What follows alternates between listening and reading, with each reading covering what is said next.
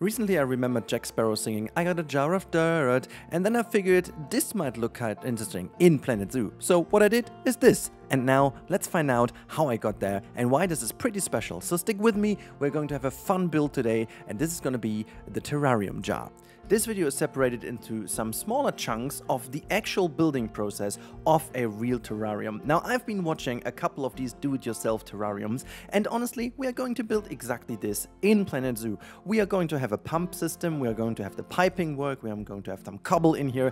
So if you're interested into the full building process, stick with me in this video and also if you find this pump to be looking quite weird, I'm not gonna say you what it is, but uh, you should have been in the Twitch live chat and uh, I can't talk about this because then my video gets demonetized. But it's very important you stick with me through the episode because you're gonna learn how this process of building a little terrarium is. And I, you know, honestly, I just completely dribbled down into the, um, you know, rabbit hole of terrarium builds, and I want to build one myself now. But you know, because I don't have the stuff at home, I did this in Planet Zoo. Now, first things first, um, we basically started off with some dirt, and then we put a pump down, and the pump work, you know, is already there to make this thing actually work in real life. One thing I forgot to do is the um, and the power connector, which uh, I assume could be down below. Like this is what many, many of these uh, do-it-yourself people do. They put the power connector below and then just kind of uh, put this through the glass to the bottom of the jar. And then there is like, uh, you know, a couple of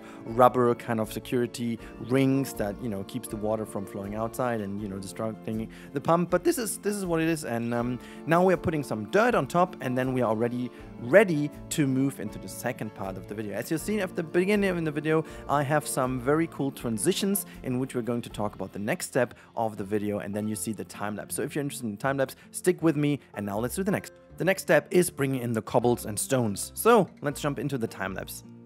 Alrighty, now the next step is putting in some stones and stuff. So if you look at these builds in real life, um, you need something now to, you know, get the weight in, to get some um, holding things, you know, that hold the things together. And you have the whole of dirt, you know, and then you would start putting in the cobbles and the little rocks. And, you know, um, in reality, obviously, this is a lot smaller. So you have this to imagine this all sized down quite dramatically. And later in this video, you're going to see how we are using some plants and stuff as well. So please stick with me till the end because that's very important to understand how we got there to the finished result and how we also get the animals in.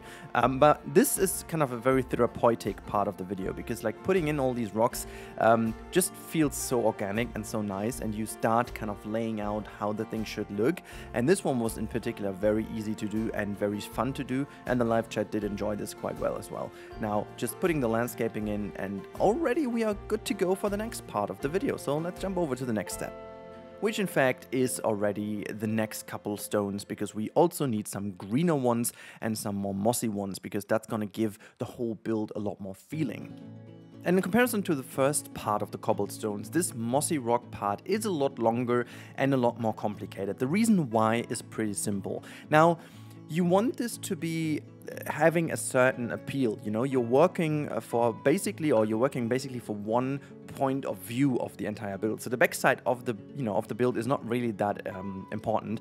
If you have already watched one of these do-it-yourself terrarium builds or whatever, you will see that they always walk um, or work themselves into a, a perspective kind of build. Uh, so whatever happens behind is not as important. But the mossy rocks are the ones that set the building apart. The, they, they set the whole build apart by just adding contrast, by adding greenery, by adding the colors. This is very important because later on when you put the foliage on top, um, it, it is very important what kind of background you have. And I honestly have to say that um, making this work is a lot of fun. But also I wanted to make the waterfall look a lot more realistic. And so I went in with the fountain, uh, fountain pieces over here uh, to make sure it looks a lot more realistic by dribbling down uh, the rocks and stuff. And I guess at the end of the day, I really found one of my best builds um, done over here with the water. Like we, this is sped up by over 10 times. So it is quite dramatically sped up and you can see how much I tested around to find the really the perfect position. Um, if you want to success uh, have success in that as well, you just have to keep trial and error. Like it's there's no way around that. But just wait until we are putting in the plants and you will see how much of a difference that made uh, to have those waterfalls aligned that way um, in comparison to just slap this one big waterfall in. So as you can see, planning is key to these type of buildings because otherwise you wouldn't be able to put these things into the right positions. As you can see, putting some effects down here, um, the whole build already seems to appear a lot better and a lot more realistic. And I, I love the fact that we have the pump system in here because it just, you know, it doesn't do anything for the build, but it does something to my mind. It, it just makes the whole thing feel so much more realistic because you do have that pump. And also, thanks to my chat, um, I just changed a couple of these, um, you know, watercolors over here to make it look even better. And I think they were right and it looks a lot better. But this is already the end of this part. Let's move over to the last one which is putting in the foliage. And for every single one of you who have done this already, they know this is the most fun part, to put these little plants in and make this thing appear like that.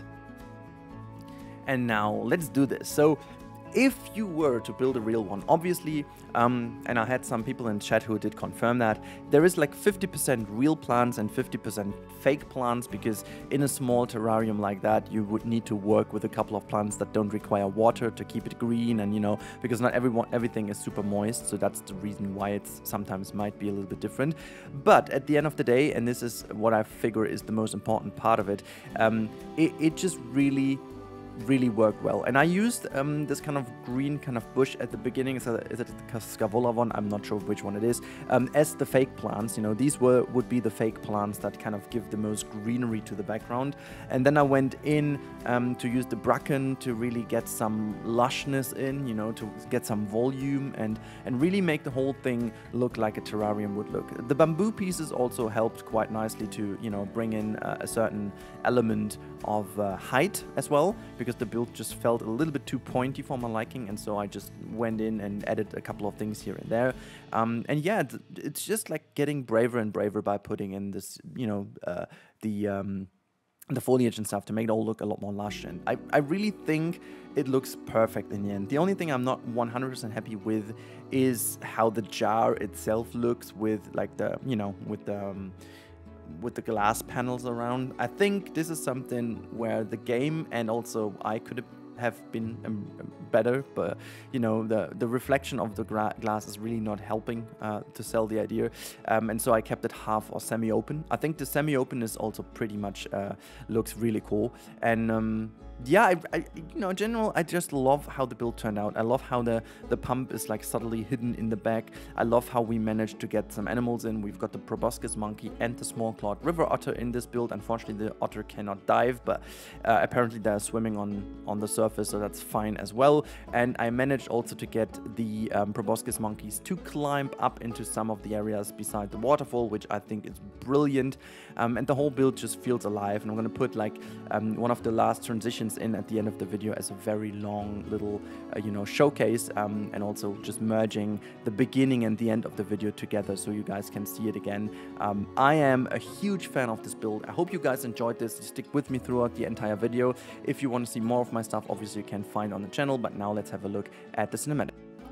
Alright, so as you can see at the end of this video, this is the transition, how the whole build came together. And now you can see, I, I love the way how it's transitioning because you can see what is in the background and whatnot. So um, from this waterfall thingy in the middle and the roundish uh, thing in the middle, we got to this beautiful little um, it's almost like a diorama. Let's uh, rewind it and have another look at the finished build. Um, so it's, it's really kind of a little terrarium jar in which the proboscis monkey, which is a, like a mini version of it, and the small clawed otter live in. Um, but I'm a huge fan. I hope you guys are too. So if you want to see more of the stuff and you're hooked to the channel, please click the video on the top right. And if you feel good today, uh, drop a like to the channel or subscribe if you haven't already. I talk to you in the next one. Thank you for watching and have a good day.